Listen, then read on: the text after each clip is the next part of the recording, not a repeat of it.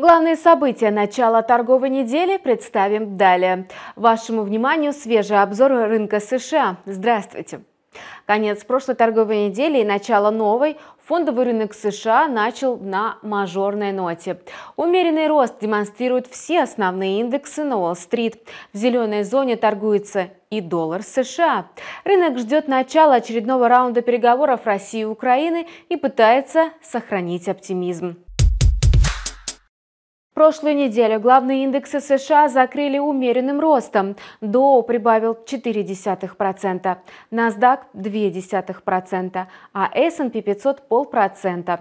Несмотря на достаточно скромный рост, премаркет по индексам был мажорным. Индекс S&P 500 уже вышел на показатели октября 2021 года и консолидируется под уровнем сопротивления у отметки 4550 пунктов. Что касаемо перспектив дня, то диапазон колебания для индекса разместился в пределах отметок 4510 и 4580 пунктов. Несмотря на то, что глобальные риски сегодня перед рынками стоят достаточно серьезные, главный негатив, связанный с геополитической ситуацией, снижается. Практически ситуация в Украине уже несколько недель к ряду остается неизменной, а новые санкции западных стран не вызывают серьезных опасений. Уже 28 и 30 марта должны состояться очные переговоры между представителями России и Украины в Турции. Ожидания касаемо их результативности не самые высокие, но продолжение переговорного процесса дает рынкам надежду на возможность снижения градуса противостояния между государствами и поиск дипломатических решений. Что касаемо экономических факторов, то инвесторы сейчас сконцентрировали внимание на ястребиных сигналах, которые звучат от ФРС. В результате усиливается волатильность на рынке облигаций. Доходность десятилетних казначейских бонусов фондов достигла максимума с мая 2019 года. На этой неделе ожидаются новые отчеты по инфляции в США, индексу деловой активности PCE и рынку труда. Именно опираясь на них, инвесторы будут пытаться спрогнозировать дальнейшие шаги Федрезерва. Что касаемо индекса доллара США, то он подскочил на 0,4% к высоте 99.20 вплотную подобравшись к самому высокому уровню за последние два года. Главным образом, рост американской валюты связан с ожиданием более агрессивных действий со стороны ФРС. Ожидание роста доходности доллара со стороны инвесторов дает возможность предположить, что сегодня американская валюта будет торговаться в диапазоне 98.80 и 99.40.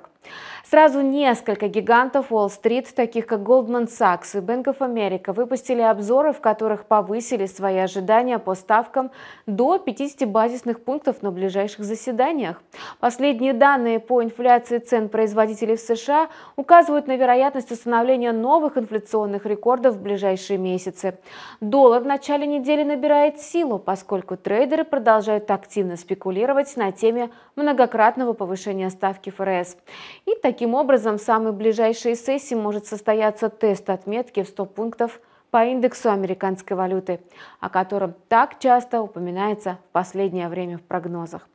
Правда, многое будет зависеть от публикуемых на неделе макроэкономических показателей. Что касаемо долларового дуэта доллар-кади, то канадец укрепился до отметки 1.2520 против своего американского коллеги, что является самым высоким показателем за два месяца. Укреплению канадского доллара способствовало повышение процентных ставок, рост цен на нефть и улучшение настроений, связанных с риском на фоне снижения геополитической напряженности. В этом свете торговый диапазон для доллар-кади размещается в пределах отметок 1.24 и 1.26.